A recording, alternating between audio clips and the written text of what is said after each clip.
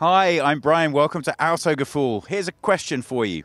If you had a car with two electric engines producing 680 horsepower and doing 0 to 100 in around about 2.3 seconds, what would it be and where would you take it? Well, that car would be the Volkswagen IDR Pikes Peak, and where I would take it is the Goodwood Festival of Speed.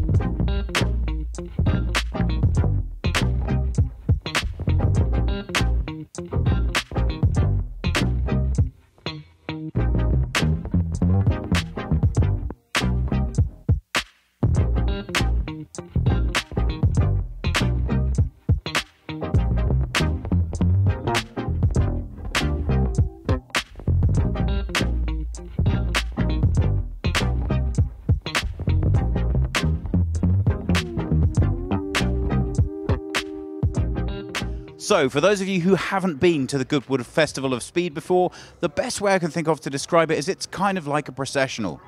Yes, hill start's the name of the game, that's what everybody is here to do. But as any one of the racing drivers will tell you, the rules are a little bit looser than you might expect from a regular track meeting, and there's a very good reason for that. Any car you can think of that you've ever imagined wanting to see that's raced at any period of history pretty much is here with somebody to drive it, and in many cases, with the original driver that the car made famous. It's spectacular. But in order to accommodate that extraordinary diversity of vehicle and class, clearly you're going to have to make some compromises. And what that means is in order to add to the theatre, for example, if you win a qualifying session, that means when it comes to the race itself, you will go last. They don't clean the track after every run, and because there's a lot of grass and a lot of stone to throw up at various points in the course as the cars try and take shortcut to get the fastest possible time, it means that the cars later on suffer a little bit in terms of time. But to be honest with you, it really isn't about the fastest time at Goodwood. It's about seeing the most spectacular cars you always wanted to look at. Really doing the thing that they love to do best, and that's driving fast. So, why are we here? Well, obviously, as car nuts, there is more than a little bit for us to see and do. But the main reason we're here, you may or may not be aware of, Volkswagen recently claimed the fastest ever time on the Pikes Peak hill climb. And they did that with their brand new, completely electric IDR. It's such an amazing car. And they weren't sure they were going to be able to bring it here. But after their success, they really wanted for as many people to see it as possible. So they've brought it here to Goodwood. Now, they've been very keen to point out to us that the setup isn't ideal. This is the backup car, not the main one. This is not configured perfectly for the driver, Romain Dumas. This is configured for the second driver. And of course, the track is a little less than ideal. If your car is configured for the massive downforce you need to take on Pikes Peak, you're not really going to be needing that at Goodwood. But even so, it's going to be pretty exciting to see what the car deliver. And just between us, there are some rumors that it just might be smashing some records. So this is one of the most popular Golfs that's ever been built, but clearly a lot of moderations have had to take place in order to make this suitable for the Pikes Peak Challenge. I think the first thing that you really get a sense of when you address the front of this car is quite how rigid the design is. Now, we'll be familiar from looking at the newer version, I say the newer version, the newer hill climbing champion, that weight is everything. Weight was very important in the design of the cars back then too, but the fact is they didn't have the high-tech materials in order to make them as structurally strong as they needed without that compromise. So we still have a lot of rivets happening here in many ways there's a lot more in common with the design of this car with an aircraft than there would have been with traditional automobile design at the time. Those two engines produce so much power that it's important that the car doesn't quite literally tear itself to pieces while it's going about its job of that hill climb. As we come slightly further back, the Golf assumes a bit more of its expected shape. And it's more than a little bit appealing when you can see so many of the features that you recognize from the production model car itself. But I've always liked this feature. You don't need a proper wind down window. Come on.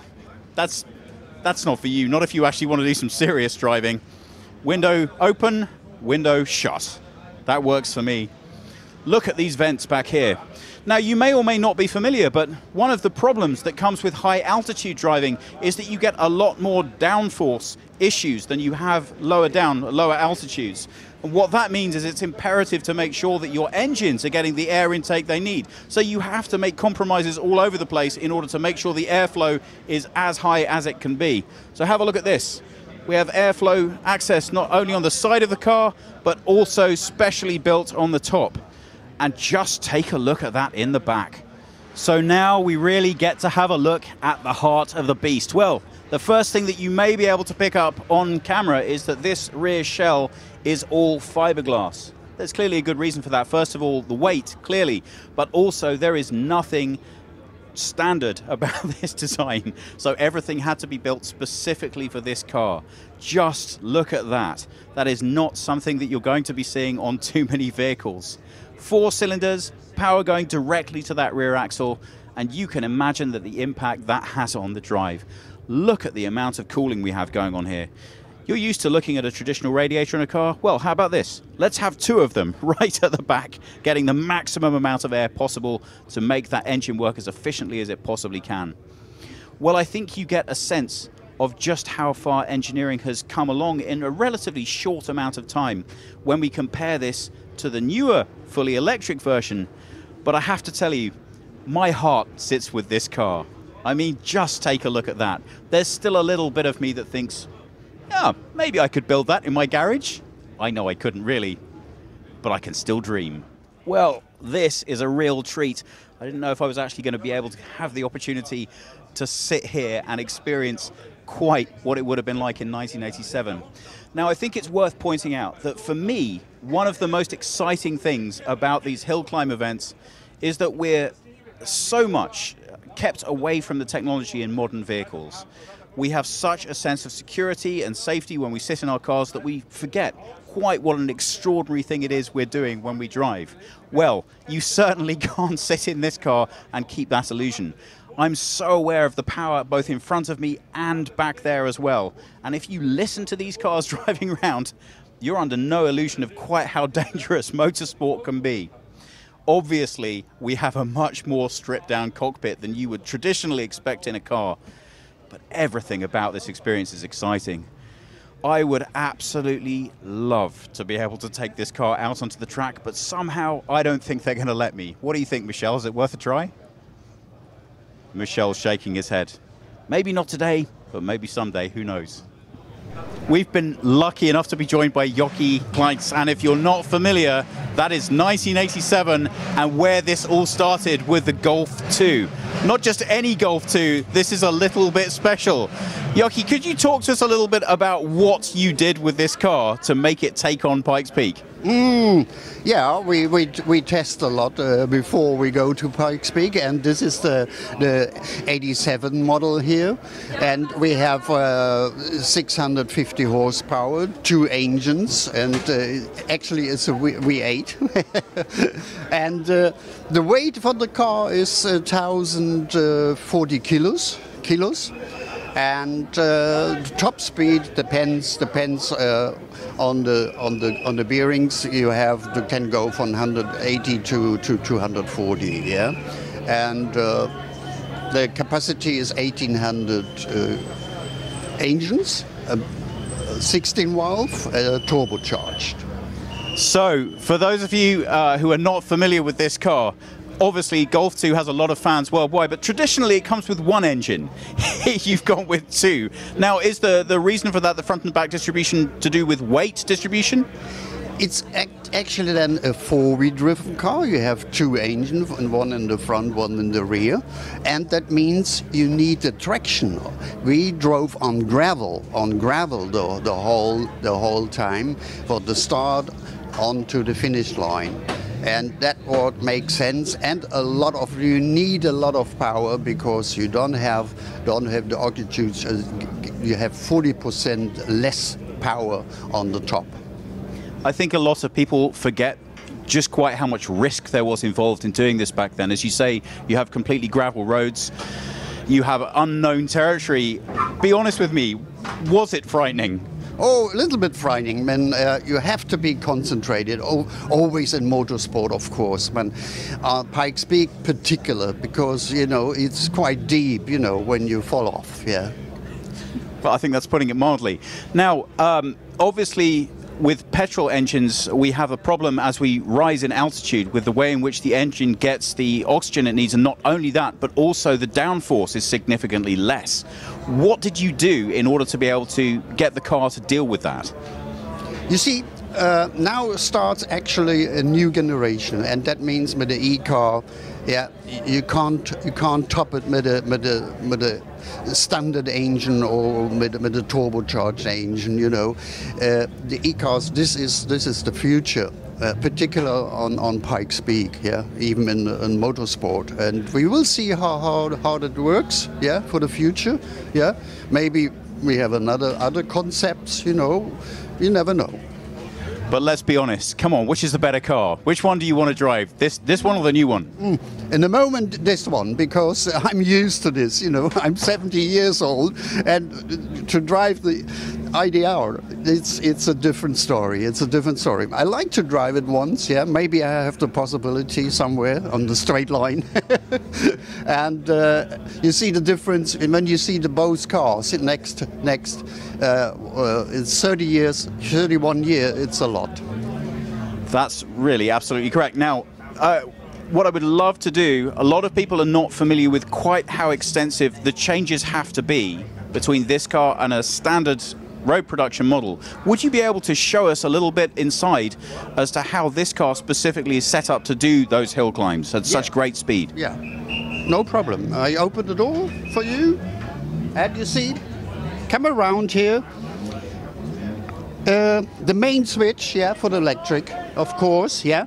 Then you, you pull this button, yeah, the ignition, and uh, you start the first engine here. Then the petrol pumps, of course, and you start engine two, yeah. And then you see the turbocharged uh, manometers here, yeah. All both engine is working, yeah. And you can drive separate as well. You know, you can drive with the front one, with the rear one. And may make no sense. You need the power for Pikes Peak, yeah.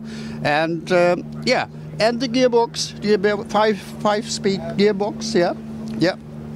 And the car is running uh, top speed 200, you know, and that was enough on, on gravel in, in the old days, on the old days.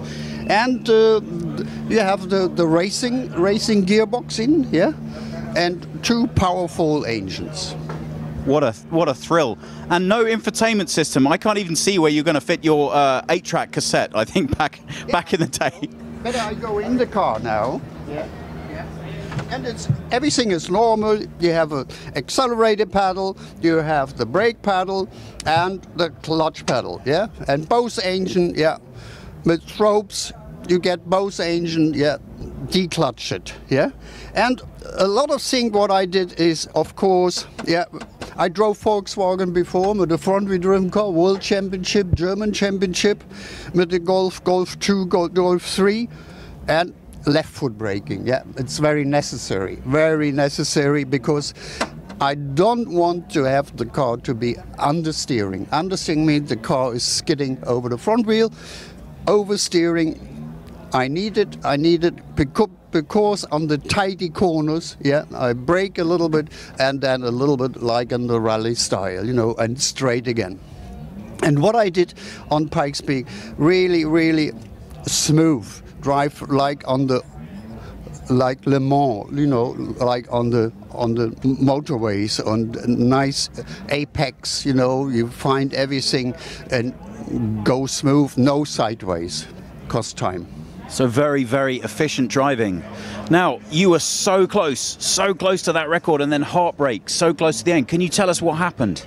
Yeah, you're right. Yeah, never, everybody except the car was a little bit uh, uniball uh, belt. Yeah, cost uh, maybe yeah, two pounds, you know, in the shop, and that was a, a grease hole there, and the uniball goes open, and then the wishbone comes back, and the wheel fall off. The wheel fall off. Yeah, three corners, three corners in front of the finish line. I, I, I saw the guy with the with jacket flag, you know, and then yeah, the rest I go by feet yeah to the to the finish.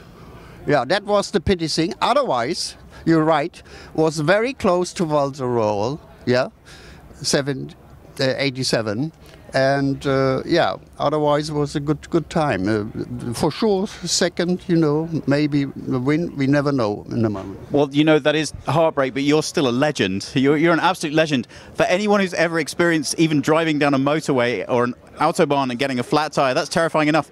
Can you imagine doing that in this car, getting losing a wheel three turns before the end of Pikes Peak? I, yeah, I, I certainly think I might need a change of trousers after such an event. Five meters two in length or 17 feet almost dead on. This is the IDR Volkswagen Pikes Peak. Now, it's just around about 1,100 kilos in weight, and that includes the weight of its rather well-known driver, Romain Dumas. So now for direct comparison, here is the engine bay of the IDR, and you can see just how far that technology has come on. There is not a spare cubic centimeter of space that is wasted in that design. Everything is geared towards making this car go as fast and efficiently as it possibly can. We have already had the opportunity to see this drive a little bit on the track, and it's astonishing quite how sleek this car looks when it's driving. It really doesn't do it justice to see it sitting stationary here like this, but it does allow us a chance to have a little bit of a closer look. Now, as you can see, there's an awful lot of preparation taking place behind me. The reason for that is we are very happy to tell you that we managed to qualify in first place yesterday. So the pressure is on to see what we can deliver in the finals. They're going to take place a little bit later on, and we will, of course, be able to bring that to you. But for now, it's really a treat to be able to show you this car in slightly more stripped down format. As you can see, there is rather a lot of carbon fiber detailing on this car, the reason for that's clear. They wanted to save every single gram they were capable of saving. But there are trade-offs to be made when you're going to do that, and one of the most obvious is that some of these components are incredibly fragile. Now, yesterday, we took a little clip off one of the fairings as we went and saw how the hay bales would interact with the IDR. But don't worry, they fixed it up just fine. But as any of the drivers will be keen to tell you, it's a common mistake to make to think that these cars are exactly the same as production models in terms of their resilience. They aren't. Just have a look if Michelle can focus down at the siding on this car and see how that aerodynamic detail is held up by thin wire pieces of wire. Now, if you put any pressure on that or stand on it, I promise you it won't stay there at all. And that is every single bit of trim on this car. So you have to be extremely gentle when you're getting in and out of it. And if you watch Romain Dumas climb out of that car, well, let's say he's in better shape than I am, and it's a good thing too. It's not an easy operation. What they're doing right now is making sure that they're minimizing the downforce as much as possible. And the reason for that is this car has been completely tuned to compete at the Pikes Peak Hill Starts. Because of the thinner air, because of the speeds, because of the altitude, that car needed to produce as much downforce as is humanly possible. And in the case of this car, that amounts to more downward pressure than the entire weight of the car itself. Well, that is one of the things that allowed it to achieve the record-setting time at Pikes Peak. But at Goodwood, we don't have altitude, and to be honest, we don't have that much climbing. We only have three real corners on the course, so you don't need a whole lot of downforce for that. So what the team are trying to do right now is to actually reverse some of the aerodynamic engineering that goes into pushing that car down to make it as maneuverable as is possible. They say, come on, this is our backup car. You don't really expect us to win with it, do you? But I think they're just trying to play down our expectations. I'm pretty sure I know what they're working for, and I very much hope we'll get the chance to see it a bit later on. Well, right now, we can't get too close to the car because they're working on it so much, but you can see these wheel covers. And yesterday, Michelle was able to get a little bit closer to those. Why am I mentioning them? Well, these are very specially designed wheels. The tires themselves were produced by Michelin and they were in joint project with this car design. It's very, very specific, the type of rubber you need for Pikes Peak. And as we were having explained to us by Romain, one of the particularly challenging things is that the weather and the humidity conditions at the bottom of the climb can not only change dramatically between there and the top, but also during the time, which means picking the right compound for the rubber is almost impossible. There's a little bit of luck involved, but also an awful lot of judgment. Now, right now you can see these covers are on the wheels, and if you're not familiar with racing, Part of the reason for this is before the car gets on that track, it's imperative that the rubber has been warmed to the right temperature first. That saves you a lot of time. But a lot of the noise that we hear at Goodwood is because those cars are revving those tyres as soon as they hit the track. They want to make sure that they're as warm as possible, nice and soft and sticky, and that really helps them keep traction while they're going on that nicely challenging hill climb. So Romain Dumas, thank you very much for taking the time to speak with us today. I have to ask, the Dakar Rally, we have the World Rally Championship, we have four individual titles on Pikes Peak, and of course we have Le Mans 24 Hour. What's going on with you? Is normal driving just not challenging enough? yes, it's always a challenge. But it's, uh, first of all, always a pleasure to drive. So that is, for me, the most important, to enjoy what I'm doing to find new challenge is also very important. But uh, you know, I still uh, enjoy a lot when I'm doing Le Mans, even after 18 time. But at the end of the day, I think when you are a race car driver, you need to drive any kind of cars, any kind of challenge, like the driver were 30 years ago. Now, I feel like we learned a lot about you today, and not least of which is you like to downplay things. At the start of the day, we heard, well, it's not my first car, it's not maybe set up perfectly, and also we have a lot of downforce because of Pikes Peak, and you come in here like it's no big deal, and you beat everybody else out for qualifying. So is that is that your strategy? Are you going to blow everyone away tomorrow? I hope it will continue like that. But what I said before is for sure uh, we can go a lot faster if we had the perfect, you know, less. We already put less downforce now, but we will improve still the car. Also myself, I can gain a lot of time, so we'll try. You know, you don't have to forget that uh, for sure this car is very, very fast. Uh, this electric power is just, uh, as you saw at the start line to the first corner, it's a kind of rocket. And uh, to drive the car is, uh, yeah, only great fun inside. So today I missed one time uh, the practice on the morning. Hopefully tomorrow it will not miss at the end. For sure it will be possible close for a big record, but we will try, we will see. Now, talking about that reduced downforce, I, I, want to ask you because it's a little bit of a passion of mine. There are many years of your heart and your passion in this car. So it makes me personally very happy to see that even with all of this extraordinary technology, we still use we still use gaffer tape in order to get the effects that we want. Is this about reducing the downforce of the car? Actually, yes. You know, this we made that to close the front louver and uh, why is that? Because we have nice louver, nice closed louver, we have that. But the problem is still on the Fred for Pikes Peak. The car you see that was a test car, so we don't have a lot of parts. So first of all, I don't need to crash. And it's missing a lot of like the front louver, the new bonnet that I have better visibility is not there. So uh, I, I asked FX, I said, please can we put less downforce? So we took out the wicker on the rear, on the rear wing. So we have to close the front louver. So now we will see what we do for tomorrow, but for sure it doesn't look uh, incredible. well, it, it does to me, and I have to say, given the amount of compromises that you've made to bring us this drive today, it's it's nothing short of amazing, and I can't wait to see what you're going to be doing with it tomorrow. I'm really keen to ask. You've obviously had the opportunity to work with this technology for a long time now, and the very name of the car itself, the IDR, suggests to us that we're going to start seeing some of this technology, some of these ideas coming through to the regular lineup obviously a racing car is such a specialized thing, but can you see anything of the future in driving this car? Well, for sure that anyway, at the end of the day, now motorsport changed a lot the last, I will say, 15 years. You know, if you see all the car you can see there, I will say 15 years ago, any brand were doing Le Mans race or other race because they want to win the race and they are passionate. I think now a brand is still passionate by success, definitely, but any brands who are doing motorsport, I mean on a Volkswagen group, from Porsche to Audi on a time to even here, what we learn on a, on a race car will be one day on a road car, for sure. It's easy to understand how you will ask budget if one day we will be not on a road car. That will be stupid. So for sure, what we are learning now, one day, hopefully we'll be on a, on a, on a Volkswagen car on the road, yes. So obviously you came here today with a rather special ride, but one of the nice things about Goodwood is there is more or less every single car you can imagine here, and I have to ask, is there anything that you've seen that piques your interest you haven't had the chance to drive and you think, you know what, I wouldn't mind taking that out for a little spin? Well, for sure. The only problem is I am so passionate by uh, motorsport. You know, when uh, you drove the rally, the Dakar, and whatever hill climb, Le Mans, I had a lot of cars at home for rally because my first uh, passion was rally. So from an old M3 E30, not only Porsche, I have a lot of Porsche, as you all know. But uh, when I came yesterday, the first car I, I was looking for was a Lancia S4.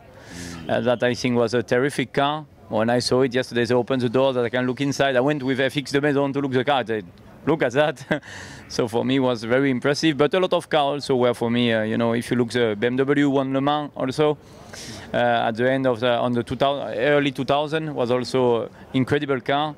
This morning I saw also the Mercedes in Le Mans. I only saw this uh, this car on TV and when he was flipping. The first time I went to see the car, inside I saw a huge steering wheel like a bus. I was surprised, but it's good because all these cars they have uh, really incredible good points. Some because they are you know old, old. They have some strange points like uh, just I just mentioned, but they always have something interesting. If you look, the Lancia S4 is full of Kevlar. The car, everything is in Kevlar, and uh, you are you are thinking, but how they made that on a, on a time, you know? And uh, if yeah, it's, it's quite fun for that to see the technology how they move different between different brands also, and what they were focused on and not also. Well, we were lucky enough to have a chat earlier on to Jochi and see the Mark II Golf, and it really is extraordinary to see how the technology's come on. And I couldn't resist but ask him if he fancied having a little drive around in this, and he got a little bit misty-eyed. I have to say, it would be more than a pleasure to see you both have a chance to swap rides and see how you got on. Thank you so much for the time you spent with us. You must be more than ready to have a little bit of relaxing now and preparing for tomorrow, and we can't wait to see what you're going to do. Yeah, we'll see. Hopefully, we continue like that to gain some. Uh tenths of second or a little more. We will see. Thank you so much. Speak to absolutely anyone on the IDR team, and they will tell you that this man knows everything there is to know about this car. So I like that look of terror. So, for the benefit of our viewers, please tell us who you are and what you do with the team. Well, I'm FX Demaison. I'm the technical director at Volkswagen Motorsport, so I'm in some way the, the father of this car. He gave that answer very humbly for somebody with possibly one of the most exciting jobs in motorsport. So you have spent an incredible amount of time, effort and energy building this and congratulations by the way on your achievements. Please explain it to us. Well, first, thank you for the. the, the I mean, it was a great, uh, a great achievement for the team. So I take it for the team. It's uh, yeah, it was a great, great pleasure. But, but the car, yeah, is the. I mean, it's uh, let's say the first uh, double engine uh, or double motor uh, race car we we can find. I mean, it's uh, it's a quite powerful car. Uh, but uh, the, the, the big thing, I mean, we really work hard to, to make it as light as possible, and uh, because the weight of the normally electric car, car is, is quite high, because the battery technology is is, is moving for sure. I mean, every month you see new new cells coming, and from where we started this this concept to now there are already um, more I mean higher energy density cells available so the, the, the main effort was to really uh, drop the weight as low as possible and and the aero because this is uh, this is free weight this is weight you have to push to push on the wheel but uh, it costs you no no real energy you know? Well, speaking with Jochi earlier on, I'm starting to get the sense that the racing division of Volkswagen, in any case, very much like the two-engine configuration. I, I, have to say, uh, does that mean we're going to have a dual fuel cell come out next? where, where could this lead to? But there are a lot of technological advances on this car as it relates to how we think about electric vehicles in general. Are there any specific features here that you think will become part of the lineup as we go forwards? Well, this concept of, of two motors, as you say, is, uh, is, an is I mean, history in, in Volkswagen because Pikes Peak and the Jochi tried to, to beat the, the record there with a double uh, or twin engine uh, Golf. But I think I mean it's uh, it's a good way to, to put as much uh, let's say torque on the on the ground or power on the ground with uh, with the four wheel drive. So this two uh, two motor concept is I mean to make a let's say a powerful car or a fast car. It's it's a must. Yeah. So now you achieved the fastest qualifying time today, and given that you've only just come from Colorado, you have limited spare parts, this is not your first choice car, I think that's an extraordinary achievement, but this is really what I want to talk to you about. Now, for my benefit and my sanity, this is a very high-tech car. Yes. Please tell me this isn't standard gaffer tape. Like, what, what, what am I looking at here? No, but I mean, i i we tried to adjust the, the aero balance, and uh, that was a last-minute uh, decision because we, we we wanted to really limit the drag, so we remove some of the rear wing, and then we say, oh yeah, but the balance will be affected, so we have to to limit the uh, to reduce the front downforce. So the, only- the quickest way to do it is to close the the louver. So. Well, I, I know we have literally thousands and thousands of euros worth of pressed carbon fiber and very high technology components here. I'm just desperate to know, is this some special racing tape that normal people can't get hold of, or is this just the same gaffer tape that I have in my garage? It's a normal tongue tape that everybody has at home, and uh, I mean, you can do miracle with tongue tape. I think we went. Ah, some people went to uh, to the moon with tongue tape, so you can do a lot with a, a bloody uh, tongue tape. That is the technical director of Volkswagen Racing telling you that go ahead, gaffer tape is something you need in your toolbox. I absolutely love that. Now, obviously, every single gram on this car has been looked at, looked at again. Is there anything really special that's taken place within the cockpit from a standard car to keep that weight down? Well, unfortu- unfortunately not. I don't think we have any uh, any part from the apart from the Volkswagen sticker, but uh, most of the parts are really lightweight uh, aerospace or special made parts for for this car. So, but uh, I guess what I'm asking is, did we evolve with this car one step further from the racing technology we already had? Are there uh, new ideas being put to use within the cockpit here that we don't already know from previous racing cars? I mean, uh, for sure, we, we developed new, uh, I mean, new battery, new battery uh, management system. The, the, the, the, motor are the top, I mean, state of the art of uh, what is will be available for Formula E in the future. So we just push the limit on any single component and uh, and tried, as I say, to build the, lightest and the most powerful uh, race car for Pikes Peak. Romain was telling us earlier that in terms of the driver's experience of this car, because it is fully electric, the information that's available to the driver is really quite special and different from what you might come to expect from a, a, a petrol, a standard petrol racing experience. Yeah, I mean, for I mean a powerful or a race electric car, a racing electric car, the, the, the main thing is to to keep the battery in the, in its optimum range of mostly of temperature and voltage. So the the most useful information for, for Romain are the battery uh, state. I mean, state of charge, temperature, uh, voltage, minimum, maximum. So that's the most, the let's say the, the, the technical information he had on the uh, on the steering wheel or on the, on the on the display. And then it's a few safety things like uh, the, the tire pressure because if you have a, a low pressure tire, it can be a, with this car, it can be a big disaster. Now, I read that, especially for the Pikes Peak Challenge, because that's such a challenging environment, the downforce that this car can produce is actually greater than the overall weight of the car, which is quite an extraordinary achievement. Was there something that you really managed to achieve with this that you hadn't maybe before thought was possible in order to get that effect? I mean, when we, we started the, the project, we fixed some target to the to, uh, to aero dep- our aero department in terms of downforce and uh, and drag, but uh, I, I never expected to get so uh, so high numbers. So I had to adjust a few times uh, the target because they reached the target too quickly, and uh, uh, we even had uh, to limit the, the speed on the wind tunnel because the, the, the underfloor was so powerful that the belt was just lifting up. So um, we, we had to limit really the, the wind speed. That really is remarkable. Well, I think, I think, folks, if I have to sum up, what we've learned here today is technology's great. Gaffer tape. That's what it's all about. That's how we achieve our goals. Gaffer tape. Yeah. Thank you so much for taking the time to speak to us, and congratulations again on an extraordinary achievement. And I'm sure you're as excited as we are to get to tomorrow and see can we claim that overall victory. What do you think? Ah, the victory, I think we, we want to, to get it, but um, yeah, we, we do our best for tomorrow. And the, the race is really tomorrow. Today is just practice, and uh, tomorrow is a big day. Excellent. Well, we'll look forward to that. And uh, if today was just practice, I can't wait to see what comes tomorrow.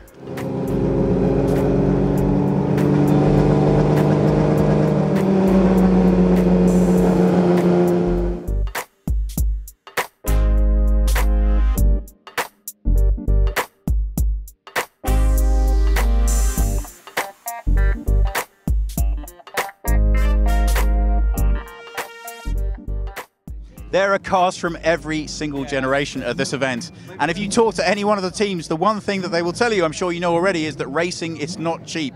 Being at this festival is not a cheap undertaking. But when you see some of the cars and you speak to some of the owners, they'll tell you they just have to be here because there really is no point in being responsible for a car like that unless you're going to be able to take it out and show everyone just what it's capable of doing. Mm. We're here at the McLaren stand at Goodwood, and here the news is all about the brand new 600 LT. LT short for long tail, and it's the first one of those we've seen in quite some time. Now, because they're playing loud music on the stand, we can't get any closer than this with the audio. Obviously, we have rights issues if we do that. But don't worry, Michelle's going to get up close and take a bit of a better look for you, and I'll tell you some details about what we're looking at. Do you have a spare £185,000? Well, then maybe you might want to think about the brand new 600 LT. This thing, unbelievably, is only the fourth McLaren in over two decades to receive the LT. Obviously, that's short for long tail, and it is the first ever sports series to feature it. It is really quite something special. Producing 600 or just shy of 600 horsepower it also features a 3.8 litre twin turbocharged McLaren V8 engine. Top speed of 204 miles per hour. Not quite sure what that would be in new money. I think 320 around about that kilometers per hour, and it is absolutely stunning. Are we going to get to give it a go, Michelle? I don't know. What do you think? Goodwood isn't just about classic cars, of course. We also have more than a few rather nice brand new supercars. And the Lamborghini stand seems like as good a place as any to tell you about those. Well, this, of course, is the Huracan, but the big news at Lamborghini is the coming electrification of the lineup. We are going to have a V12 hybrid Aventador. I can't wait to get my hands on that, but until we have the opportunity, let's have a look over here. Well, this is the Urus. It's not exactly new news now. It's been on the market for quite some time. But I will say this is the first time at the car park here that I've actually seen customers driving this thing.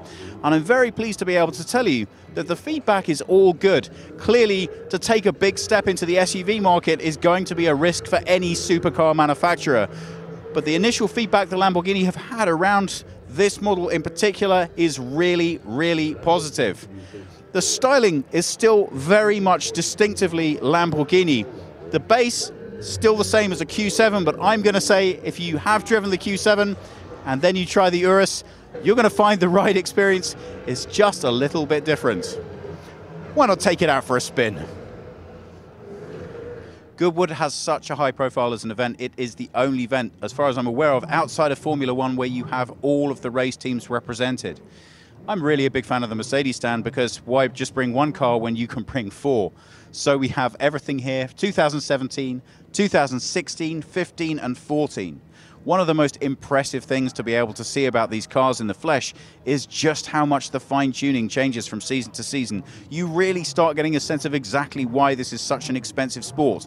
It's not only that every single year you make little improvements, but every single year, the regulations change, sometimes just a little, sometimes enormously. And the pressure that puts upon the engineers to get the car design right, not only for the drive, but also for the driver, is enormous.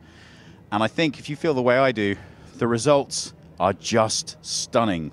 Of course, you can tell that best when you see the cars actually racing. We won't be able to do that today, but it's really nice to be able to get up close and personal with them. What you're looking at right now is a 1936 Auto Union Type C. And what I love about this team is they've really entered into the spirit here at Goodwood. Look at those shirts, braces, and bow ties. These guys aren't messing around. More importantly, look at that engine. That is absolutely beautiful. You can see cars of all ages, all types, and all flavors here at Goodwood. But I have to say, my heart definitely belongs with the older stuff just look at this thing. And what's absolutely wonderful to look at is how beautifully preserved this is. Every single nut, bolt, and screw on this thing is polished within an inch of its life.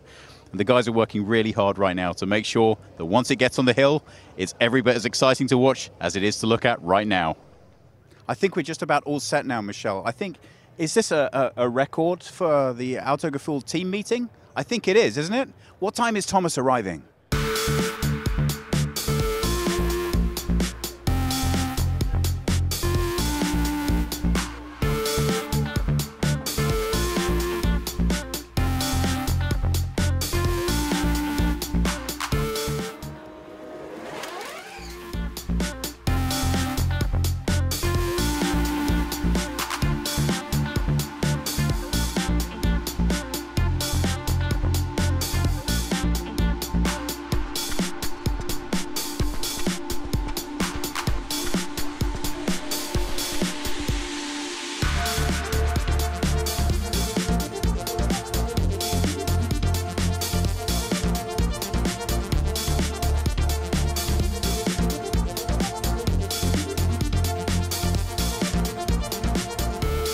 Us here at Goodwood for 2018. What an event it's been. There's so many cars. It's really very difficult to imagine how there could be a car that you like or love that isn't here to be seen. And if you're very lucky, you get to watch race. Well, the reason that we came here was to watch the IDR perform. And what a fantastic experience that's been. Given the amount of compromises that they had to make even in order just to bring the car here, I think the performance in the drive has been spectacular. We've had so much fun taking the opportunity to watch the whole team hard at work, and we hope you have too. Please don't forget, if you have any comments or questions, pop them below. Meanwhile, please subscribe, and we hope we'll see you again soon.